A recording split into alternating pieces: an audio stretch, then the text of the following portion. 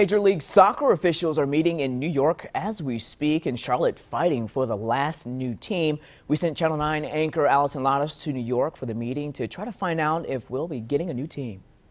I'm here in New York City where team owners and MLS officials are nearly four hours into their eight hour long Board of Governors meeting. And the big agenda item we want to know about is which city will be awarded the next franchise and if Charlotte will get the 30th MLS club.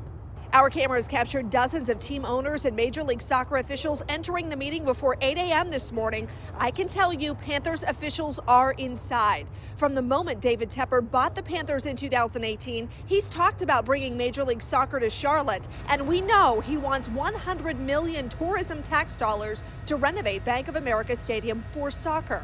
Charlotte City Council has yet to approve that money or publicly discuss whether the team's headquarters could be located at the old Eastland Mall site.